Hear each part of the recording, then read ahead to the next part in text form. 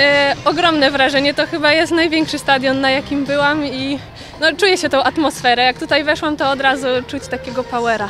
Tak. Te emocje wróciły tak, jakby to wszystko było wczoraj.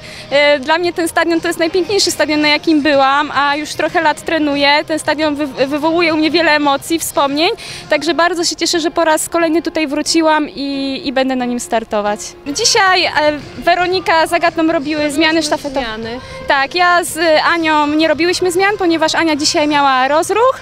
E, Ja taki rozruch e, szybkościowy, ostat... raczej no nie, nie ostatni trening szybkościowy.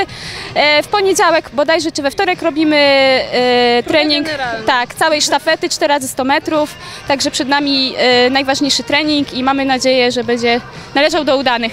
No właśnie okazało się, że nie biegam, ani na 200 metrów, myślałam, że dzisiaj będzie 100 metrów, poza konkursem niestety nie było, także ubolewam nad tym, bo gdzieś tam złapałam szczyt swojej formy i niestety nie będę mogła się wykazać, także, ale mam nadzieję, że po, wszystkie cztery pokażemy na co nas stać w sztafecie.